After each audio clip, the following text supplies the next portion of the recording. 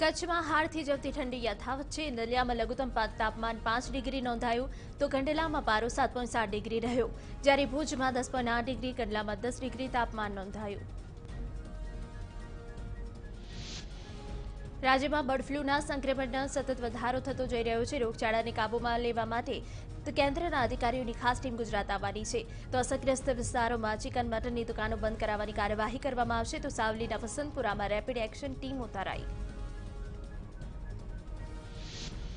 ગાંધીનગરમાં આજે કેબિનેટની બેઠક યોજાવાની છે. મુખ્યપ્રધાન રૂપાણીની અધ્યક્ષતામાં બેઠકનું આયોજન, જેમાં રસીકરણ, સ્થાનિક સ્વરાજ્યની ચૂંટણી સહિતના મુદ્દાઓ પર ચર્ચા કરવામાં આવશે.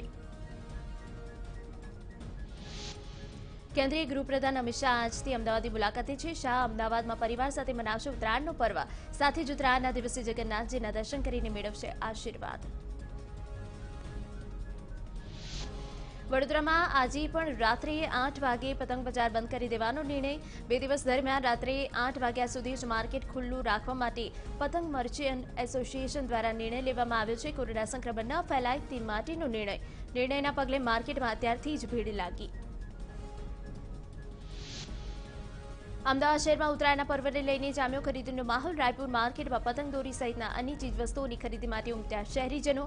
રાયપુર માર્કેટ વર્ષોથી ઉત્તરાયણની ખરીદી માટે છે પ્રખ્યાત. ઉત્તરાયણ પર્વને લઈને અમદાવાદ પોલીસની શહેરીજનોને અને વેપારીઓની તાકીદ. રાત્રે દસ વાગ્યા પછી પતંગ દોરી વેચનારા કે ખરીદનારાને જેલ ધકેલાશે. હાલ રાત્રે દસ વાગ્યા બાદ કરફ્યુ લાગુ થતું હોવાથી દસ વાગ્યા બાદ નીકળનાર સામે ગુનો નોંધાશે. અમદાવાદમાં ઉત્તરાયણને લઈને ઊંધિયું જલેબી બનાવવાનો ધમધમાટ શરૂ થઈ ગયો છે. વેપારીઓ ઉત્તરાયણ પર કરોડોનું ઊંધિયું જલેબી વેચતા હોય છે જોકે આ વર્ષે ભાવમાં વધારો થયો છે. સુરતમાં ટ્રાફિક પોલીસે સરાહનીય કામગીરી સામે આવી. ગીતાંજલિ ચાર રસ્તા પાસે રાહદારીઓને સેફટી બેલ્ટ અને બાઇક પર સળિયા લગાવવામાં આવ્યા. પતંગની દોરીથી ગળું ન કપાય તે માટે કરી કામગીરી. સોમનાથ ટ્રસ્ટની વર્ચ્યુઅલ બેઠક ફરી રદ થઈ છે. સાંજે છ વાગે આ બેઠક મળવાની હતી. સોમનાથ ટ્રસ્ટના નવા ચેરમેનની જાહેરાત થવાની હતી, પરંતુ બીજી વખત બેઠક રદ કરવામાં આવી. ફરી ક્યારે બેઠક મળશે તે અંગેનો નિર્ણય હજુ બાકી. બેઠકમાં પીએમ મોદી, અમિત શાહ, લાલકૃષ્ણ અડવાણી વર્ચ્યુઅલી હાજરી આપવાના હતા. બીજી તરફ પીએમ મોદીના ગુજરાતના વર્ચ્યુઅલ કાર્યક્રમમાં પણ ફેરફાર થયો. કેવડિયા રેલવેના ઉદઘાટનનો કાર્યક્રમ હવે સોળમીના બદલે સત્તરમીએ યોજાશે.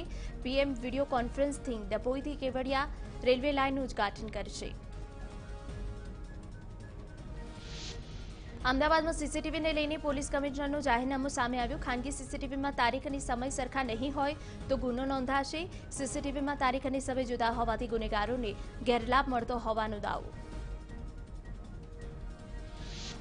રાજકોટના ઉપલેટામાં મોજ નદીમાં કેમિકલયુક્ત પાણી ઠાલવવાનો મામલો સામે આવ્યો. ઉપલેટા કિસાન સભા કોંગ્રેસ અને ખેડૂતોએ નગરપાલિકા ચીફ ઓફિસર અને મામલતદારને આવેદનપત્ર આપ્યું. દોષિતો પર કડક પગલાં ન લેવાય તો ઉગ્ર આંદોલનની ચીમકી ઉચ્ચારી. ભાવનગર શહેરના રિંગ રોડના ખાતમુહૂર્તના બે દાયકા બાદ પણ નથી કરાઈ કામગીરી. ચાર મહિના પહેલા જ રિંગ રોડના બીજા તબક્કા માટે વિભાવરીબેન દવેના હસ્તે ખાતમુહૂર્ત કરાયું હતું. જોકે હજુ અહીં કામ ચાલુ નથી થયું, જેથી સ્થાનિકો પરેશાન.